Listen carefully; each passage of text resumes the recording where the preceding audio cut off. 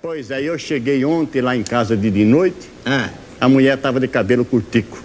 ela cortou? Cortou aquele cabelo assim curtico, Barreto. Ah, mas que pecado. É, eu fiquei muito que é? chateado, fiquei chateado. Não, mas é pra ter ficado Ah, chateado. fiquei mesmo, porque ela sabia que o que mais eu gostava nela era o cabelo dela. Não, e aquele cabelo, aquele eu tinha que respeitar. É verdade. É, eu se fosse você, até eu se me vingava da sua mulher.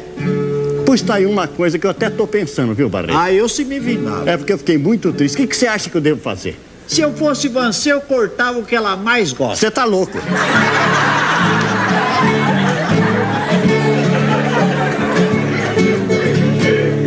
Tem uma coisa no mundo que eu acho mal empregado.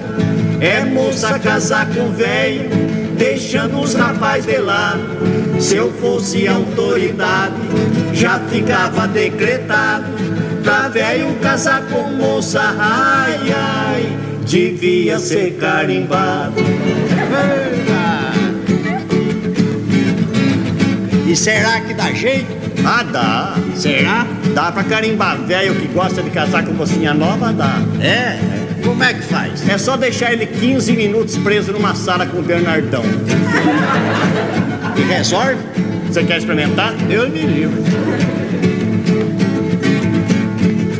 Os velhos de hoje em dia, com véia não quer casar, só anda atrás das mocinhas, que nem um caracará. Só querem mocinha nova, causa da formosura. 15 dias de casado, ai, ai, ele entrega a rapadura. Mas será que todo velho que casa com menina nova, Barreto, entrega a mesma rapadura? Não, porque uma vizinha minha lá novinha Sei, casou com um velho, sei, velho de uns 60 anos. sei. E esses dias ela tava me dizendo que pra ela ele entregou a rapa mole. Diferente. No dia do casamento, a moça faz um agrado, dá um chá de sabugueiro, outro de amendoim torrado. O velho fica no canto, riscando que nem macaco, e a moça dá um suspiro, ai, ai, pau podre não dá cavalo. E não dá mesmo, viu, gente? Dá.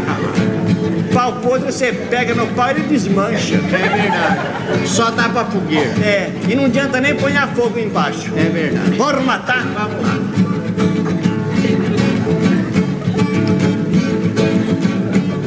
Quinze dias de casada, a moça faz um banzé, apronta pra ir-se embora, e o velho pede com fé. Minha filha, não faça isso, eu te peço até de. E a moça dá um suspiro, ai, ai, desse mato não sai coelho.